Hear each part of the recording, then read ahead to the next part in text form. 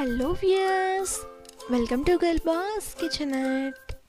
ఇవాళ మన వీడియోలో స్పైసీగా ఎంతో టేస్టీగా ఉండే ఉల్లి కారంని ఎలా ప్రిపేర్ చేసుకోవాలో చూద్దాం. ఏ కర్రీ చేయాలో తోచినప్పుడు ఇలా ఇన్స్టాంట్గా కారంని ప్రిపేర్ చేసుకొని అందులో కాస్త నెయ్యిని యాడ్ చేసి సర్వ్ చేసుకుంటే చాలా టేస్టీగా ఉంటుంది.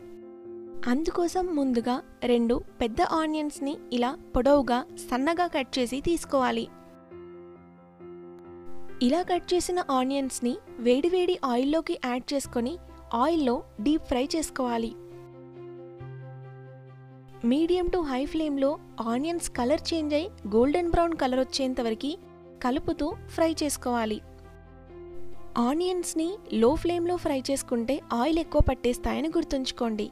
అందుకోసం మీడియం టు హై ఫ్లేమ్లో ఇలా కలర్ చేంజ్ అయి గోల్డెన్ బ్రౌన్ కలర్ వచ్చేంత వరకు ఫ్రై చేసుకొని ఆ తర్వాత ఈ ఆనియన్స్ని ఆయిల్ నుండి తీసేసుకోవాలి. ఇలా కలర్ చేంజ్ అయిన తర్వాత బౌల్లోకి ట్రాన్స్ఫర్ చేసి పెట్టుకోవాలి.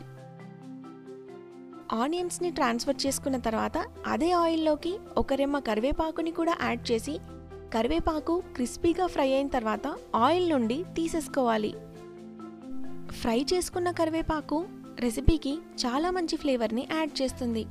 ఇలా కరివేపాకుని కూడా బౌల్లోకి ట్రాన్స్ఫర్ చేసి ఆనియన్ అలాగే కరివేపాకు చల్లారేంతవరకు కాసేపు పక్కనుంచుకోవాలి.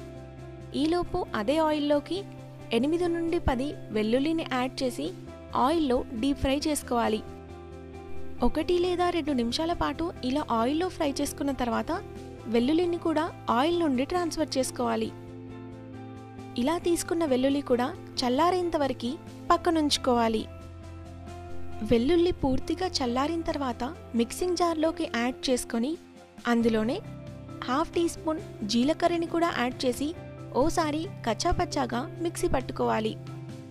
ఇక్కడ చూపిస్తున్న విధంగా మరీ ఫైన్గా కాకుండా ఇలా బరకగా మిక్సీ పట్టుకున్న తర్వాత అందులోనే మూడు టీ స్పూన్ల కారం టేస్ట్కి సరిపడా ఒక టీ స్పూన్ ఉప్పు హాఫ్ టీ స్పూన్ ధనియాల పొడిని యాడ్ చేసి మరొకసారి అన్ని ఇంగ్రీడియంట్స్ని మిక్సీ పట్టుకోవాలి.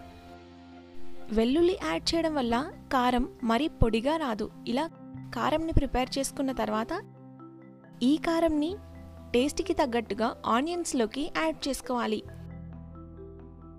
కారం ఎక్కువ తినేవాళ్ళు ఈ కారంని పూర్తిగా యాడ్ చేసుకోవచ్చు. లేదా కాస్త తక్కువ తినేవాళ్ళు ఇందులో నుండి కొంచెం యాడ్ చేసి మిగిలిన కారంని వేరే కర్రీస్లోకి యాడ్ చేసుకోవచ్చు. ఇలా కారంని యాడ్ చేసిన తర్వాత అన్ని ఇంగ్రీడియంట్స్ని చేత్తోనే ఈవెన్గా మిక్స్ చేసుకోవాలి. ఇలా అన్ని ఇంగ్రీడియంట్స్ని ఈవెన్గా మిక్స్ చేసుకుంటే ఎంతో టేస్టీగా ఉండే ఉల్లికారం సర్వ్ చేయడానికి రెడీ. వేడివేడి అన్నంలో కాస్త ఈ కారం అలాగే కొద్దిగా నెయ్యి యాడ్ చేసి సర్వ్ చేసుకుంటే చాలా టేస్టీగా ఉంటుంది. తప్పకుండా ట్రై చేసి మీకెలా కుదిరిందో కామెంట్ సెక్షన్లో కామెంట్ చేయండి. ఇలాంటి మరిన్ని టేస్టీ అండ్ ఈజీ రెసిపీస్ కోసం ఛానల్కి సబ్స్క్రైబ్ చేయండి. ఈ రెసిపీ మీకు నచ్చినట్లయితే like comment and subscribe to girl kitchen